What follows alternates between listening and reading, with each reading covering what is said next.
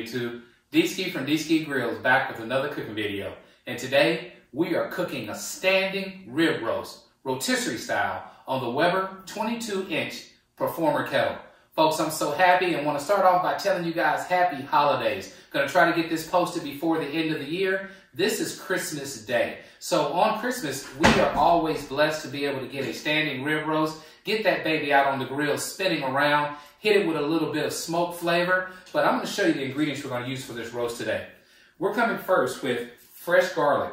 We will poke in this roast and plug it with fresh garlic. We're going to come back with the It's Incredible for a base coat. We're going to follow that up with the black seasoning. Now, the black seasoning is a mixture of coffee and different herbs and spices. Absolutely awesome on roast. Also, folks, we're coming back with a host of herbs that we're going to coat the outside of this baby. From there, we'll go out to the Weber 22-inch Performer, get that rotisserie set up, and you're going to watch this baby baste in its own juices, dropping those juices down into a pan that will have carrots and potatoes in it. Let me tell you, folks, it's going to be an absolute treat. The star of the show is a 10-pound standing rib roast. So you know what we'll do. I'll take you to the cutting board. I'll show you step by step how we're going to season. Then I'll take you outside, show you step by step how we're going to set up that rotisserie. And finally, we will meet at the cutting board, checking out the most awesome holiday roast that you've ever seen. I want to thank you as always for joining me and let's get cooking. Okay, folks, we are at the cutting board. As you can see, we are cooking up some awesome USDA Prime standing rib roast today. This is a four bone baby. Check it out. One, two, three, and four. Got it from Costco. Picked it up about a week ago, just put it in the freezer, and then I took it out two days ago to let it thaw, okay? So really excited about making this baby. We'll get it opened up real quick. I'll let you see it. And then what we're gonna do is just listen to some tunes. I'm gonna move this to the side, drain, drain some of it. All right, and then we'll bring it into the frame. But what we have, folks, is one beautiful standing rib roast, okay? We have a wonderful fat cap on top. I will trim down just a little bit. We want to keep most of that fat because think about it. While it's spinning on that rotisserie, this stuff will be basting itself in its own juices. All right. So here she is, USDA Prime. Look at that baby. Tons of marbling. You know it's going to be awesome.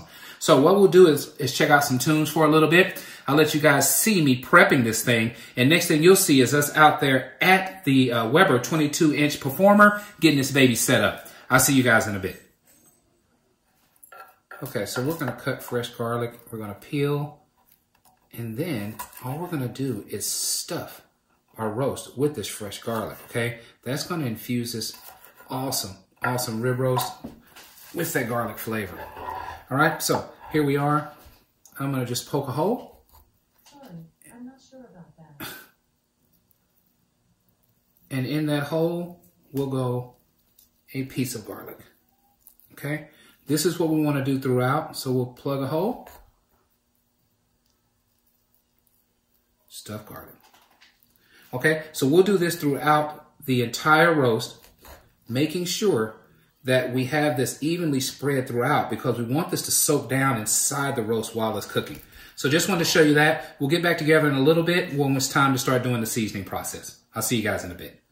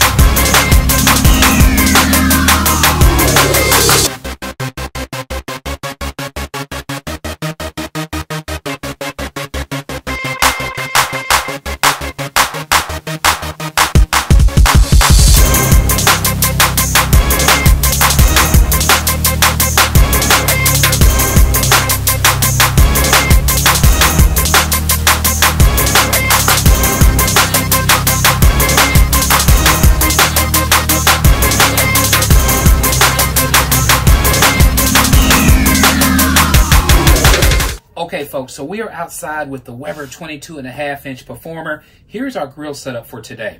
I have a chimney right here that we're gonna go ahead and get fired up. Once this baby ash is over, we're gonna pour the hot coals into the small char baskets that come with the kettle. Okay, these are perfect for when you're doing rotisserie style. Why? Because you have one on each side with your awesome piece of meat right in the middle spinning right here, getting that indirect cooking throughout the whole process. Now, on the bottom, we're going to put a pan of potatoes, carrots, and things like that with a little bit of a roux so we can make a nice gravy for our roast. Okay, so that's what's going to go in the center.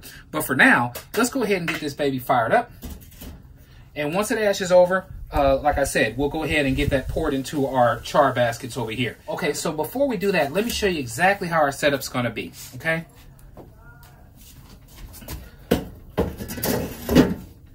So both sides are lit. We have our rotisserie accessory. I bought this thing maybe 10 years ago, folks. This thing is so awesome for turning your kettle into a rotisserie cooker. All right, so we have that in place. That is just the uh, expansion part of it, right? You would come right back with your spit. So our spit will go in here. Here's our motor. I'll bring you on this side and show you that. Okay, so the motor will go right in here on the bracket. We will push our spit right on through into this motor. And I already have our juice right here. I'll let you hear it turn on. Okay, that baby is on. Now, we'll have an awesome rib roast right here spinning. Okay, we'll get this baby out in a minute once it's time to add it. And I'm so excited about this cook, folks. Again, this is Christmas Day using the copper 22 and a half inch Weber Performer. What an awesome treat for today. Standing rib roast on Dski Grillz. I'll see you guys in a bit. Okay, folks, we are back. We are pretty much assed over now, so we're going to go ahead and add our hot coals to the unlit coals. Let's get some here first.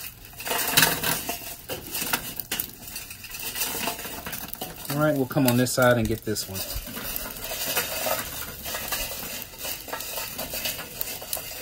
So honestly, we're looking for around 250 to 300, okay? That's that's pretty much what we're shooting for for this cook. Let's see if we can't get them all in place here.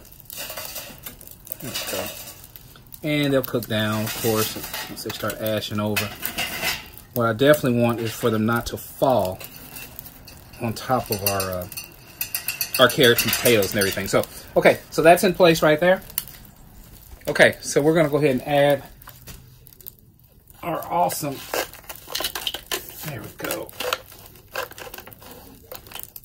Okay, so these will just continue to cook. Look at that, folks. That is straight amazing, right? Let's go ahead now and put our um, our uh, rotisserie in place. So I'll back it up a little bit, make sure you guys can see everything. Mm, my family's having a good time today. It's a great day. All right, so we'll have that in place. Make sure we get it seated right. Okay, maybe I'll move you on this side so you can see everything better.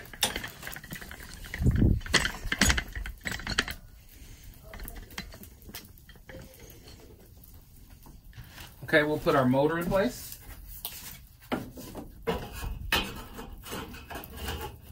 And now go get the roast. Okay, folks, here's the star of the show. Look at this beautiful rib roast. Okay, we're to get this in place. What I want to do is go right off into the motor. Oh, man, this thing worked out great. Look at that.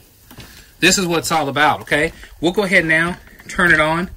Okay, and then we'll get the lid on it, shut it down, and we'll get back together after about an hour or so. But as you can see, folks, we are ready to go here. Let's get that motor started while we're together.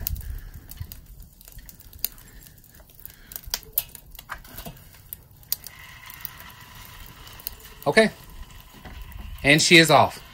Here is our awesome standing rib roast made on Christmas Day, folks, on Dski Grillz. We have our carrots, potatoes, and onions down on the bottom.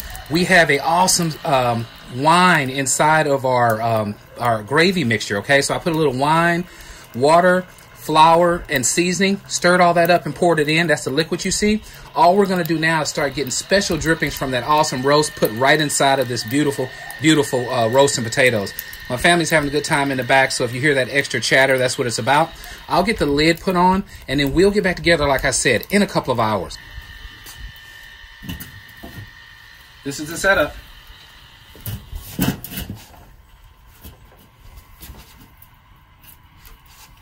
See you guys in a few hours. Okay, folks, we are back. We are about 45 minutes into this cook. I want to open it up for the first time so we can check out how this baby's coming along. I'm showing around 420 on the dial here. Let's get this baby open. And look at that, folks. Look at that. How beautiful is that? This baby is marinating, like I said, in its own juices. You're starting to see pullback. We have plenty fire going on, okay? So our char baskets are doing their job as well. All right, let me show you that. Okay, so we got more time to cook. Let's head over and look at this side. All right, and as you can see, our roast looks absolutely divine. All right, folks, I'm to get it shut back down. We'll get back together in another 45 minutes, see how this baby is coming along. But as you can see, it is nothing but goodness. Catch you in a bit.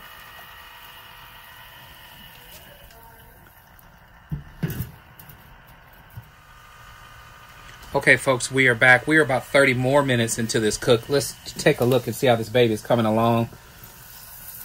Look at that, folks. Look at that beautiful crust we've achieved. This baby is cooking up right, okay? We have the flame that you see is because I dropped in two pieces of hickory. I wanted to add a little bit of smoke towards the end of this cook, but you can see we have a beautiful color working here. This thing is cooking straight indirect. Those juices are going right down into our gravy. Do you see that? This is what I'm talking about. All we're going to do at the end is give this a mix, and y'all, we're going to have some heaven down there. So hopefully our potatoes are getting tender, which I'm, I'm sure they are, because we have such good heat working down on the bottom. So I'll get it shut back down, get back with you guys next, and we'll start checking internal temps. See you guys in a bit.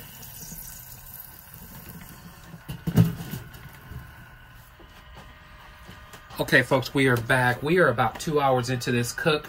The grill is at around 350 degrees. I'm going to remove the lid, let you see what we have going on.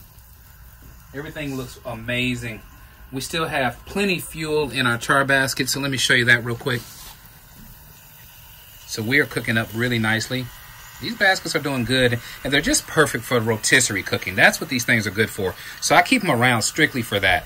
Okay, you can see we're getting pulled back on our roast. It's looking absolutely amazing. I'm going to stop it and go ahead and start checking some internal temps. So let me move this back just a bit. Make sure you guys can see what we have going on, and we'll give it a check. So I'm going to stop it once it gets towards the top here. Okay, in the middle here, we're at, looks like 92, 93. So we have a little ways to go here. I'm going to check this corner here. So our edges are coming along really good. We're at about 127. Okay, so we're getting there, folks. This baby is coming along. Juices are flowing. This thing's going to be magnificent. We're at 107 right there. Hopefully you can see that. So we got a little bit longer to go. We're going to let this baby just keep on cooking and then we'll get back together once we get closer to about 145 degrees. That's the point we're going to peel this baby off, let it rest, and then we're going to cut into a magnificent standing rib roast. Awesome pullback. Beautiful crust. Garlic. Can you imagine this garlic melting and just adding this flavor? Can't wait to show you guys the final product. See you a little bit later. Okay, folks, we are back. It has been three hours later, and it is time to bring this magnificent roast in. Let's check it out and see how she's looking. Look at that beautiful bark. Folks, this is what it's all about. You have an awesome crust. On the inside, it's going to be moist and tender. This garlic has been inside, just infusing this baby with flavor. I'm going to bring you closer and let you see the potatoes and carrots and onions. Okay, we have an awesome, awesome gravy base down there that we're just going to spin, turn around when we bring it inside the house, and you can see the consistency of it, okay? Now, we did really good with these char baskets. I am so proud of them. They did a great job on this cook. So, both of them really, really lasted for this whole three hours. I only added a few more briquettes uh, halfway through the cook. But I'm telling you, this thing is going to be amazing, folks. So let me put it down, let you see this baby spin one more time. So what we'll do next is I'll meet you guys at the cutting board and we will check out the final product of our awesome standing rib roast made on the 22-inch Weber Copper Performer using the rotisserie accessory. Awesome cook. Meet you guys inside. Okay, YouTube, we are back checking out the final product of our awesome standing rib roast made on the 22 inch Weber Performer. Folks, this has been an awesome cook. We use the Weber rotisserie accessory to spin this 10 pound prime rib roast. This is a four bone rib roast that spent around cooking on this awesome grill today. I'm so excited. This is Christmas Day, so this won't be posted till closer to New Year's, but I just had to get this cook captured on film so you guys can see just how awesome a standing rib roast can be on your Weber kettle. Now, this thing has been sitting here for about 10 minutes now. You can see the juices are flowing already. That's what it's all about, okay? So the rest time is very important. It gives those juices time to distribute back into the meat. So that's where your tenderness comes in. Now I'm gonna move this to the side real quick.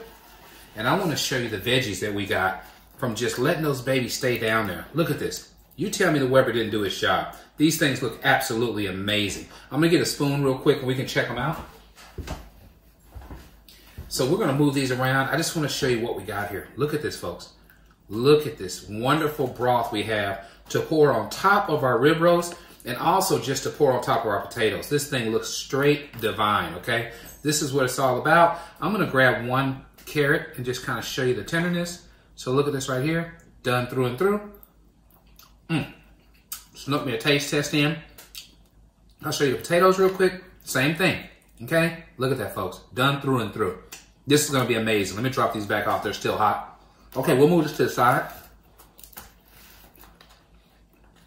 Next up is the star of the show, our beautiful standing rib roast. What I'm gonna do first is go ahead and remove our prongs. So we let it cool. All right. Let's slide off this magnificent piece of meat today. Oh my God, look at the juices flowing from this thing. Okay, so we have that there, sitting there, ready to be cut on.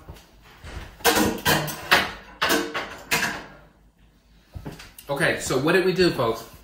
We seasoned this with the black seasoning. We seasoned it with the It's Incredible. We came back with herbs and spices and put those all on the outside. We let this baby spin on the Performer. It cooked for about three and a half hours until we reached an internal temperature of 145. That is a medium temperature that we were trying to achieve. We're gonna go ahead and cut our butcher's twine first.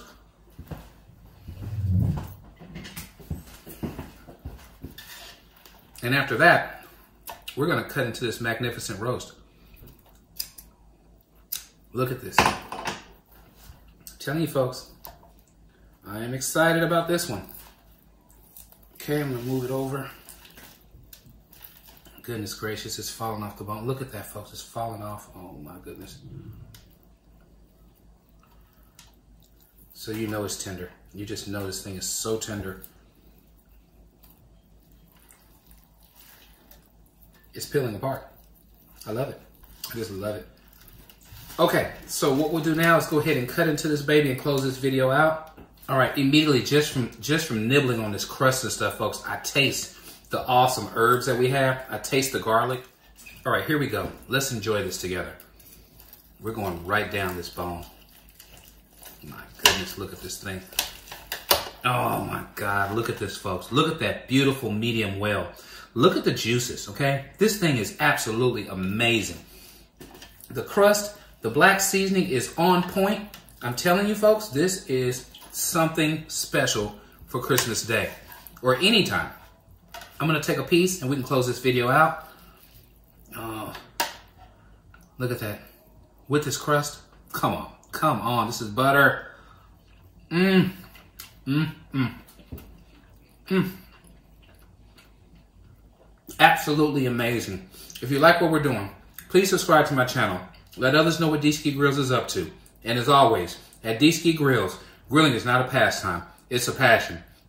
This standing rib roast will not last long around this household. I want to wish you all a happy holidays. Stay safe out there. I'll catch up with you guys on the next video.